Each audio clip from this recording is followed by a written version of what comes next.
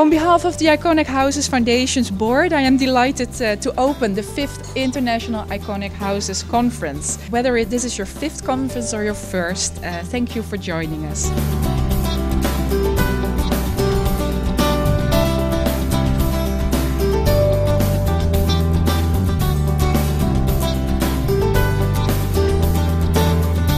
It's such a thrill to have had so many important figures in the field of iconic houses here in New Canaan. I think the Iconic Houses conferences are such a great opportunity for those of us who are very interested in modern architecture to get together, meet each other, and learn about houses and properties that we had no idea even existed in some cases. I can't recommend it highly enough.